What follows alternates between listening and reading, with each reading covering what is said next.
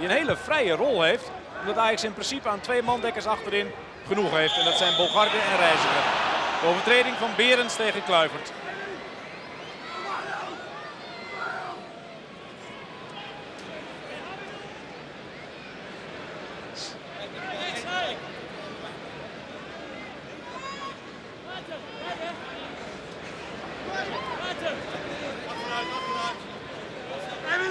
Woensdag zal Ajax dit belangrijke wapen missen. De vrije trappen van Frank de Boer.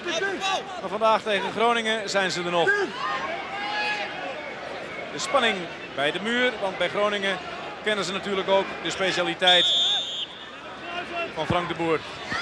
Kijk eens, wat een schoonheid. Het is zijn achtste goal van dit seizoen. 18 karaats goud. Een 10 met de griffel. Fantastisch in één woord. Wat een curve. Een driebandbiljarter zou hier jaloers op zijn. Frank de Boer in zijn specialiteit. Nogmaals, woensdag zal Ajax hem missen. 0-2.